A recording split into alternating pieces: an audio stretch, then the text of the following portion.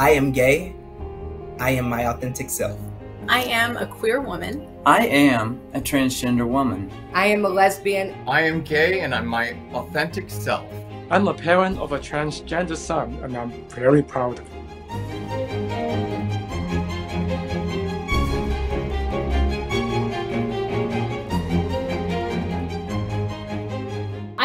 Wanted to be in science ever since I was a little kid. I felt that it was really important to be my most authentic self, especially knowing that this was my dream. Queer people can dream big. Exploration needs to be for everybody.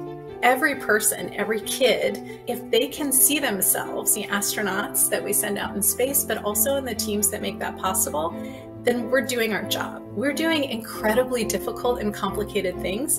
We want people that look at things from a different perspective that can bring us, you know, new ways of solving problems. And diverse and inclusive teams do that. If someone is in the closet and they see people like me doing our jobs, being effective at our jobs, I think that is the biggest encouragement that I can give them is to show I can be my true self and I can do my job they accept me 100%. We're all together working on this. Who I am is enough. And when you resonate that kind of pride within yourself and you exude the love that you have for yourself, before you know it, you've got a tribe of people who are just motivating and uplifting one another. That comes from being your authentic self. There's someone in the world struggling like you who needs to see someone like you to keep going.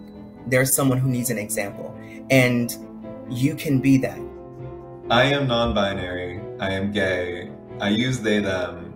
There was one instance where I was participating in a candidate lunch, and they actually also use they, them pronouns.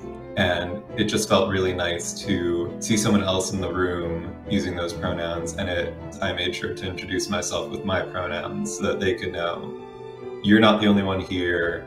There's someone here who understands you and and really just wants the best for you.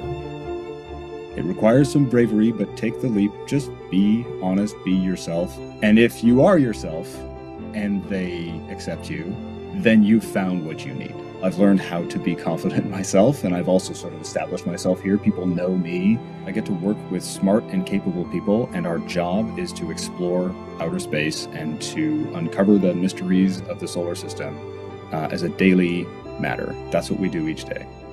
I feel hopeful for the future because of the education that's out there and employee resource groups that NASA has established. I am my true self in love with my wife. And if we can be ourselves, our mission here at NASA becomes more effective.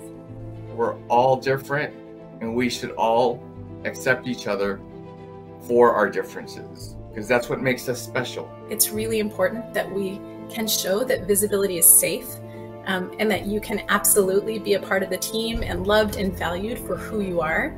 It's never too late to be yourself. It's never too late to find your happiness no matter what your identity is in the community, that there's going to be a place for you. Um, and there's going to be a place for you to not only just be here, but to succeed and to thrive. I am a queer woman, and I am NASA. I am NASA. I am NASA. I am NASA. I am NASA. I am NASA.